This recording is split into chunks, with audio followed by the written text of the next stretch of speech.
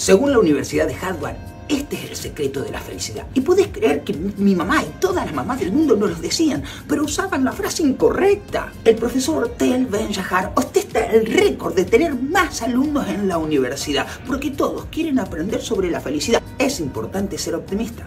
El profesor dice, la felicidad no depende solamente de las circunstancias, sino la actitud que demostramos ante ella. Nuestras madres decían, si la vida te da limones, hace limonada. Cultiva la gratitud, practica el agradecimiento diariamente.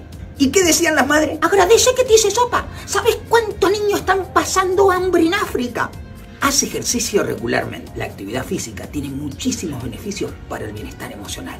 Encuentra una forma de hacer ejercicio y hazlo parte de tu rutina diaria. Mi mamá decía, ¿ya arreglaste el cuarto? Dale, movete, movete. Sociabilizar encontrar la estabilidad, la mayoría de las personas necesitamos socializar, compartir con gente, divertirnos. Una buena relación te ayuda a mejorar la autoestima y a tener buenos vínculos. Eres el resultado de cinco personas que te rodean. Como decían nuestra madre. Pero si siempre te juntas con esos vagos, dime con quién anda y te diré quién eres. Practica la atención plena. Vive aquí y ahora. No te juzgues, no te dejes llevar por pensamientos negativos ni distracciones. Las madres decían, ¿me está escuchando? Te hablando para mi bola. Te entra por una oreja y te sale por la otra lo que yo te digo. ¿Sabes por qué el profesor Tal Ben Shahar